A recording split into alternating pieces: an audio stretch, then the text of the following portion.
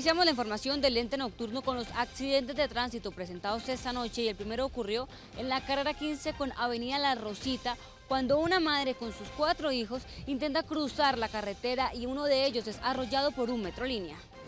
En la carrera 15, con Avenida La Rosita, una madre junto con sus cuatro hijos decide cruzar la vía omitiendo un puente peatonal que se encuentra a tan solo pocos metros. En el momento de cruzar el carril exclusivo, un bus de Metrolínea arrolla a uno de los pequeños. En el accidente, el menor sufre fractura de la pierna derecha y fue remitido de urgencia a un centro asistencial.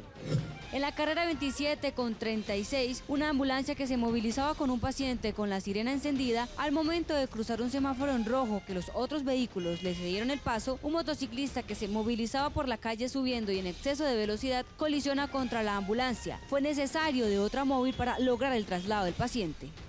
Continuamos con los accidentes de tránsito y con la imprudencia de algunos conductores al omitir el pare o conducir en exceso de velocidad.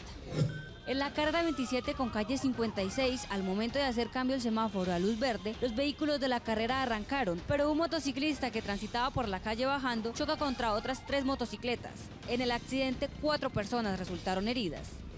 Por la vía al norte, a la altura de la curva del Diablo, un motociclista que se movilizaba en exceso de velocidad, al no percatarse del que el automóvil que transitaba delante de él baja la velocidad, el motociclista colisiona con el otro vehículo. Del impacto, el joven pierde dos de sus dientes delanteros y sufre una herida en su mandíbula.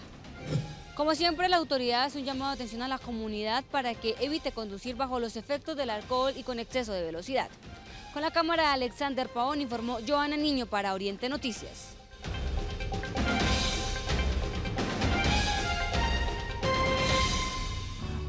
canaltro.com